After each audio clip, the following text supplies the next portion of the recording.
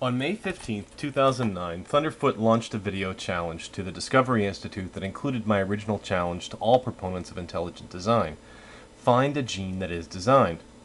It has gained a great deal of popularity, reaching the number two top rated video of all time in science and technology.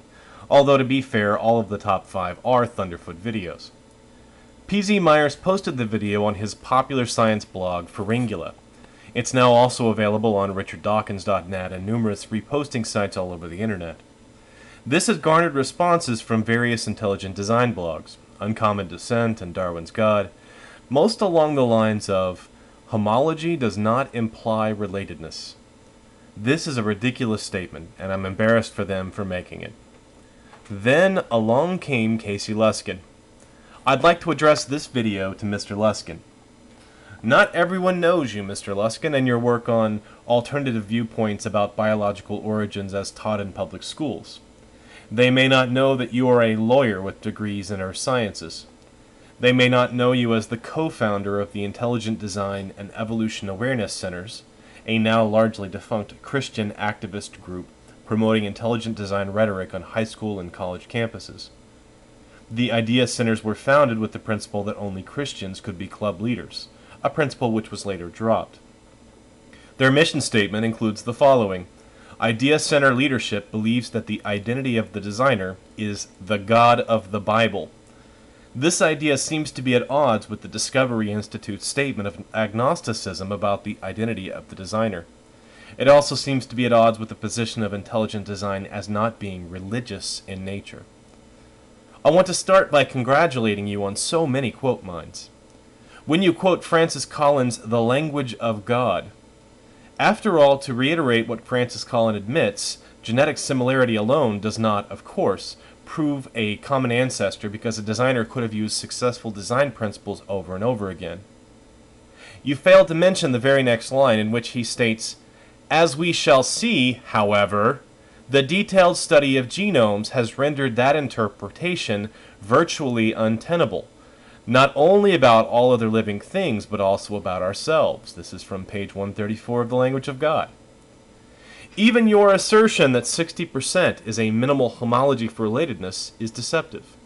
The paper you use as support was looking at chromosomal clustering of genes for subunits of a protein complex, and states, Furthermore, none of the pairs in question, essential or not, had greater than 60% identity to each other, so they cannot be considered recent duplicates, neo-homodimers, because they have diverged too far in sequence to be equivalent.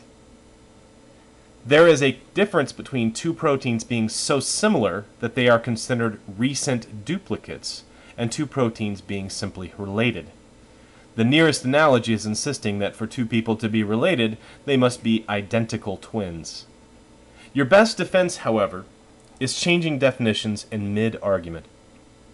What is irreducible complexity, Casey?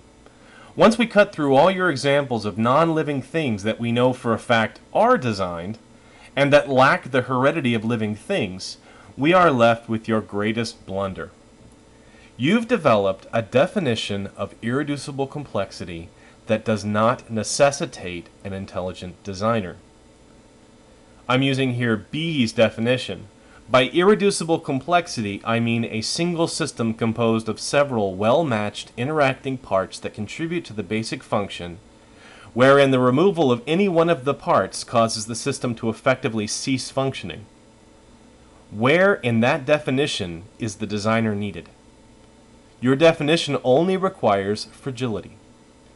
Any mechanism can bring two independently functioning parts together into a slightly different function. I can jam peanut butter and chocolate together and get a new dessert treat. That is not the same if I remove either part. Are peanut butter chocolate cups irreducibly complex? Is an intelligent designer required for every new combination of two parts that has a new function?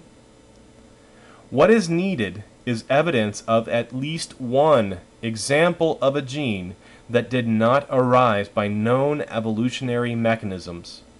If a designer is active in designing structures, where is the evidence of his handiwork?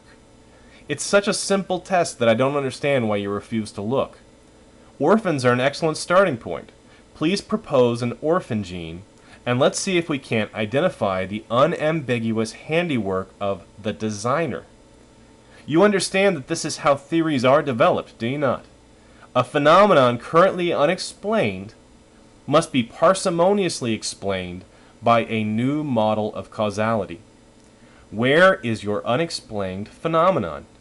You already have a proposed model of causality, but it lacks explanatory power and parsimony because it fails to explain so many biological phenomenon, and it invokes a being that has never been observed and for which no evidence exists.